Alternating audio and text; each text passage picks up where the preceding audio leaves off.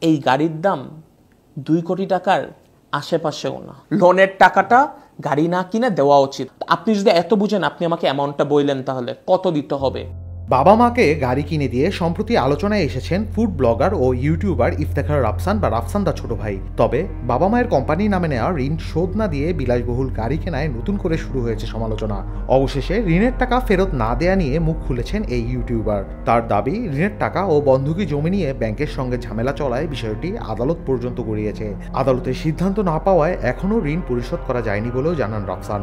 একই সঙ্গে সমালোচকদের একহাত নিয়েছেন এই ইউটিউবার। দিয়েছেন আইনি ব্যবস্থা নেওয়ার হুমকি রাফসান বাবা মাকে অডি গাড়ি কিনে দেওয়ার পর বিষয়টি নিয়ে সামাজিক যোগাযোগ মাধ্যমে শুরু হয়েছিল চর্চা।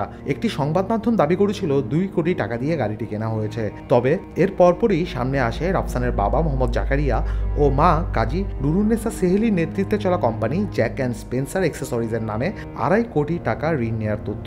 দুই হাজার ষোলো সালে ট্রাস্ট ব্যাংকের মিলেনিয়াম কর্পোরেট শাখা থেকে নেওয়া এই ঋণ এখনও শোধ করা হয়নি। এ নিয়ে সামাজিক যোগাযোগ মাধ্যমে শুরু হয়েছে সমালোচনা।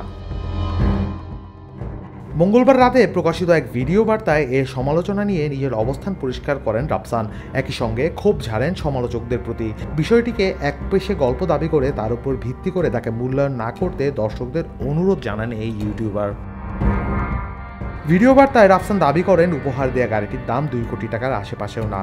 তবে বাবা মায়ের কোম্পানির লোন নেয়ার বিষয়টি অস্বীকার করেননি তিনি। জানান, ঋণের বিপরীতে বন্ধক নেওয়া জমিটি নিয়ে ব্যাংকের সঙ্গে কিছু ঝামেলা চলছে তার পরিবারের। রাফসান আকারে ইঙ্গিতে দাবি করেন, লোনের বিপরীতে বন্ধক দেয়া জমিটির দাম বেশি হলেও ব্যাংক তা নিয়ে নিতে চাচ্ছে। তাই তার পরিবার আদালতের দ্বারস্থ হয়েছে। এই পরিস্থিতিতে আদালত বিষয়টি স্থগিত রেখেছে বলে দাবি এই ইউটিউবারের। আদালতের সিদ্ধান্ত না পাওয়ায় ঋণ শোধ দেওয়া যায়নি বলেও দাবি করেন তিনি। এ সময় সমালোচকদের এক হাত নেন রাফসান। গল্পের এক পাশ শুনে তাকে মূল্যায়ন করার অধিকার কারও নেই বলেও মন্তব্য করেন তিনি। রাফসান দাবি করেন, টাকা মেরে দেওয়ার জন্য ঋণ নেওয়া হয়নি। ব্যবসা খারাপ চলায় ঋণ শোধ করা যায়নি। তবে আদালত সিদ্ধান্ত দিলে ঋণের টাকা শোধ করে দেওয়া হবে বলেও জানান তিনি। এই বিষয়টি নিয়ে সমালোচনাকারীদের বিরুদ্ধে আইনি ব্যবস্থা নেওয়ার হুমকিও দিয়েছেন এই ইউটিউবার। রুমাতুর্য খবর সংযোগ।